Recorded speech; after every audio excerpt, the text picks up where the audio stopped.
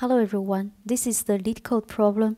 Minimize the maximum of products distributed to any store. You are given an integer n, indicating there are n specialty retail stores. There are n product types of varying amounts, which are given as a zero-indexed integer array quantities, where quantities i represents the number of products of the ith product type you need to distribute all products to the retail stores following these rules. A store can only be given at most one product type, but can be given any amount of it. After distribution, each store will be given some number of products, possibly zero. Let x represent the maximum number of products given to any store. You want x to be as small as possible you want to minimize the maximum number of products that are given to any store. Return the minimum possible x. Here are some examples. Example 1. 6 stores and uh, 2 types of products.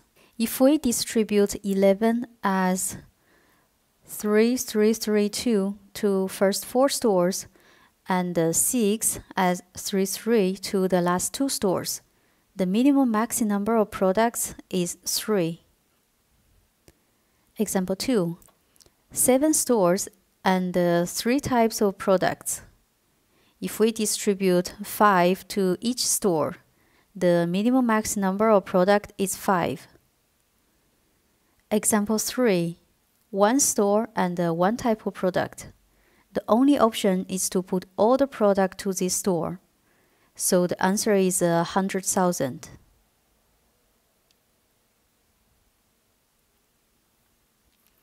According to the constraints, each kind of product has at least one and at most 10 power 5, and all products need to be distributed, which means the maximum number of products that are given to any store is at least 1 and at most 10 power 5. More specifically, the upper limit is the maximum number in the given list. Find the number in this range. Looks like a binary search. Let's go through an example. 6 stores and the 3 types of products. The lower limit is 1 and the upper limit is 13. So the mid is 7. When mid is 7, the minimum stores required is at least 4. 4 is smaller than 6, means 7 might be too big. Mid minus 1 might be the correct answer or might be too small. We don't know that yet, so we change the upper limit to mid. Then the new mid is 4. The minimum stores required becomes 8. 8 is bigger than the stores that was given, so for sure 4 is too small. We change the lower limit to mid plus 1. Now the new mid becomes 6. The minimum stores required is 6. It's the same as the given store number. This doesn't mean we found the answer, because the range is from 5 to 7. There are still a few options, so we change the upper limit to 6. Now the mid is 5. The minimum stores required is 7. 7 is bigger than the stores that was given. Change the lower limit to mid plus 1.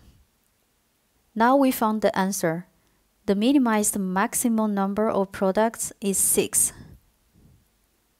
Let's take a look at the code. Mini and the maxi are the lower and the upper limit of the maximum number of products. Lower limit is 1, upper limit is the maximum number from the given list quantities. Then we start from the middle of this range. For each mid, check how many stores we need at least to distribute all the products. If the number of stores are less or equal to n, means the upper limit is too high. Else means the lower limit is too low. Continue this process until we find the, the smallest mid. Time complexity is uh, n log n and the space complexity is O1. Thank you for watching.